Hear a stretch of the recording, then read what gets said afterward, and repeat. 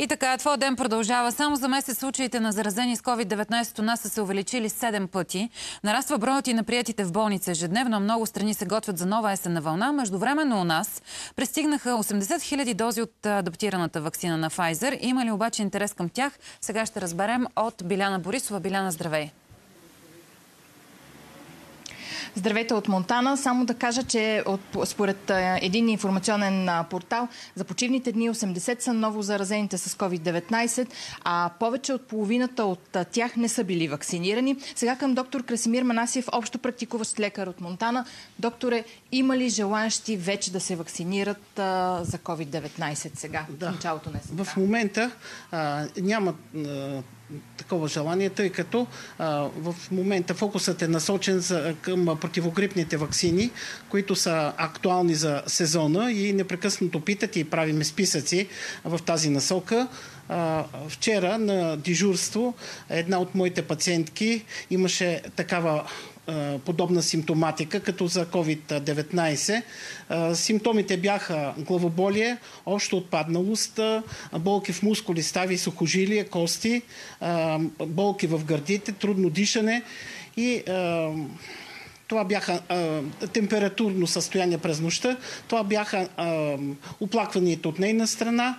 А, от обективното, от прегледа, който извърших, обективното и състояние, имаше изострено визикуларно дишане, без прибавени хрипове, но поради общата и отпадналост и тежкото и а, видимо общо състояние, насочих за изследване, а, пълна кръвна картина и съответно антигенен тест за COVID-19 се оказа положително. След след което беше насочена към отделение за а, лечение на COVID-19 заболявания. Вие лично ще Тоест, единични, все още единични, епизодични са случаите на а, хора, които имат а, тези симптоми, които ги изпращаме и се оказат положителни. А, казахте, че има да искат да се вакцинират хората за грипа, който предстои. Да, да. А, ще им препоръчвате ли сега и с новите вакцини, които идват? А... Да. След като правиме списъците за противогрипната вакцина и идват за а, а, вакцинации по национална програма, това са предимно възрастни хора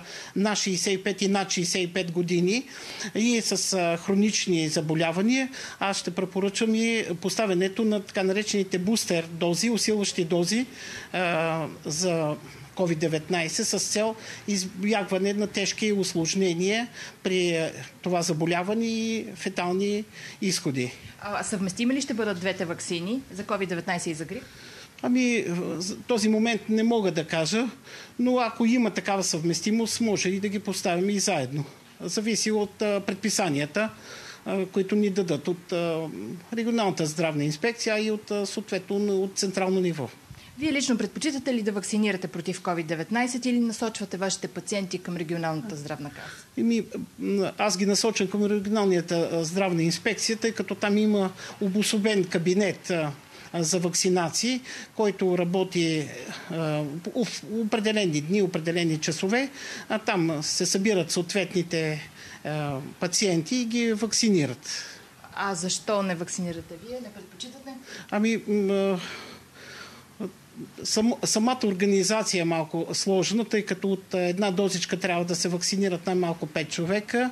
Има и такива, които са за 10 човека. Когато направя списъци, не винаги идват всички пациенти. Някои от тях са болни, други от тях някакви семейни проблеми изтъкват.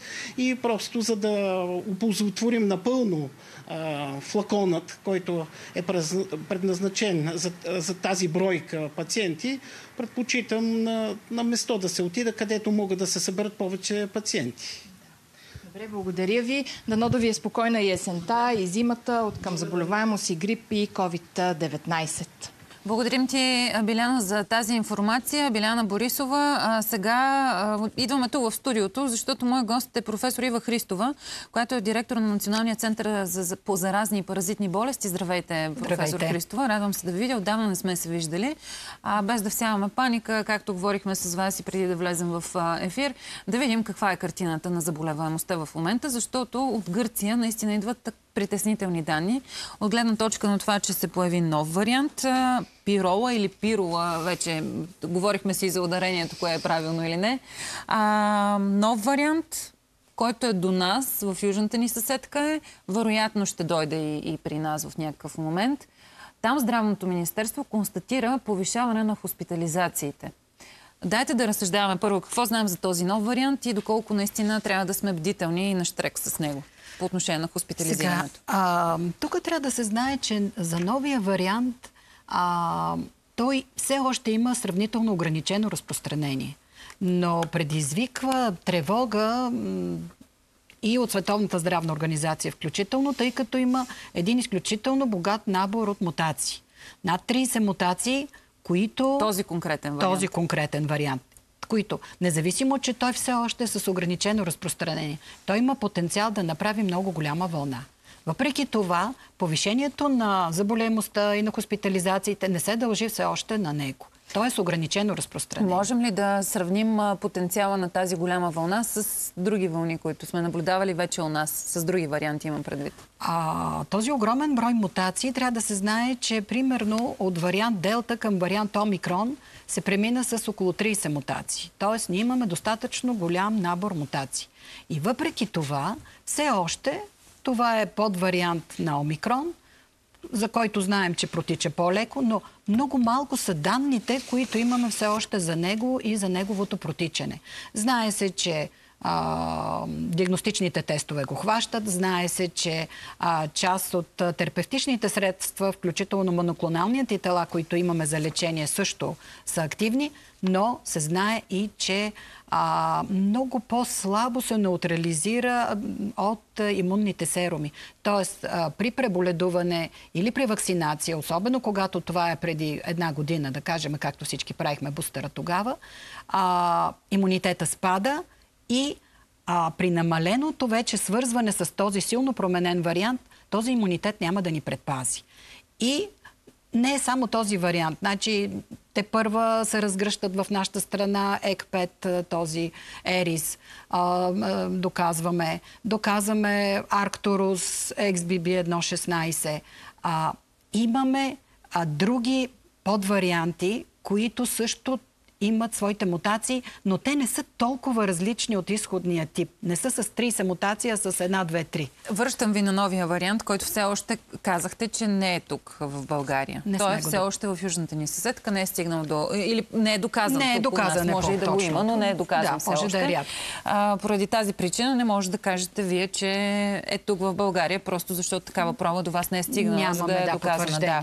А, доколко обаче, искам да обясним, е опасен от гледна точка на симптоматиката и това, което казах за хоспитализирането, защото, а, пак повтарям, информацията от Гърция е, че Здравното министерство констатира наистина повече а, заболели а, в болница настанени в болница, имам предвид. Аз считам, че в момента в Гърция високия брой хоспитализации не се дължи точно на този вид, защото никъде в света той не е станал доминиращ. А доминиращи са все още другите пет варианти, Арктурус, Ерис и така нататък. А, така че повишения брой хоспитализации са свързани с общото, как да кажа, настъпление на вируса или по-скоро до някъде спада в нашия имунитет.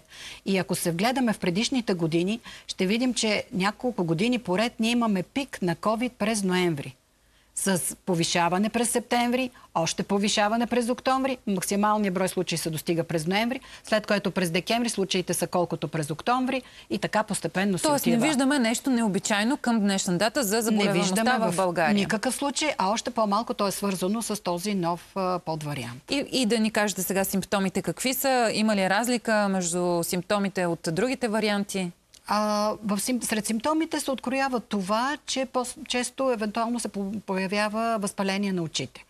А, Иначе все още данните не са достатъчно много, за да могат добре да се а, сравнят с предишни подварианти. Защото а, всяко едно заболяване протича различно тежко в зависимост от подлежащата а, така среда. Тоест, а при имунокомпрометирани хора с увредена имунна система, при хора с хронични заболявания, хора на хронично цитостатично лечение, т.е. под хора с онкологични заболявания и съответната терапия за това, а, заболяването протича много по-тежко. Независимо от това, от кой подвариант е причинен. И тук пак стигаме до вакцините. Тук стигаме до това, че всъщност най-смисления а, така начин за предотвратяване а, разпространението на заболяването и предотвратяване на осложненията, особено при рисковата група, е а, вакцинацията. 80 хиляди дози са пристигнали в България от адаптираната вакцина на Pfizer. Поправете ме, ако Точно греша. така е, да. Но такава е информацията, с която разполагаме. По време на двогодишната COVID-пандемия непрестанно следяхме интереса, който интерес до финала на тези две години на остър пик, заболеваемост и смъртни случаи не се повиши особено. Какво ще се случи сега, професор Христов? Аз съм доста скептична по отношение на тези 80 хиляди дози. Изобщо дали една трета от тях ще бъде използвана. С оглед интереса имам предвид. Аз мисля, че просто беше направена една негативна кампания срещу тази вакцина, която всъщност предотвратява заболяването в много висок процент от случаите. И това го виждаме примерно по сравнение с грипната вакцина, за която има повишен интерес. А все още COVID е доста по-тежко заболяване. И особено осложненията от COVID. Тоест, ние не можем да експериментираме с нашия организъм. Няма да се вакцинираме, ако се разболее, ще си го изкарам. Да, ще го изкараме. Макар и по-тежко при някои случаи. Но късните осложнения не можем да ги преборим. Омикрон протича по-леко, но осложненията остават. Имаше тук преди няколко седмица национална конференция по COVID. От всички органи и системи се съобщават е, осложнения. И то в немалък процент. Професор е на финала на нашия разговор с едно изречение. Какви са съветите ви към хората? Да носим ли маска? Да спазваме ли отстояние? Идва ли момента, в който отново ние сами за себе си като самоотговорност да, да направим стъпки в тази посока през следващите есенно-зимни месеци? Това всъщност е най-важното. Да вземем мерки така, че да се предпазим не само от COVID, а и от другите две основни заплахи, които се задават грип и респираторно-синцитиален вирус, плюс другата група, която доказваме аденовируси, парагрипни вируси, риновируси и така нататък. Да носим маски, когато сме на закрито с много хора ако не искаме да боледуваме. И сега къде е така оптимизма в цялата работа? Дайте да Това го е, кажем че на финала. Пиковете на тези заболявания ще бъдат по различно време. Вероятно ноември ще бъде COVID, COVID ще спадне декември-януари, когато се очаква януари-февруари пика да имаме на грипа. пик едновременно и на грип и на, и на COVID. Хоспитализации, да, ще имаме, ще се повишават, но няма да има тежки осложнения и фатални изходи, защото все пак това е омикрон. Благодаря ви много, професор Христова, че бяхте наш гост. Професор Ива Христова, директор на Националния център по заразни и паразитни болести в ефира на Твоя ден с последна информация за картината на COVID-19 в България. Отиваме към една реклама, уважаеми зрители, и веднага, щом се върнем,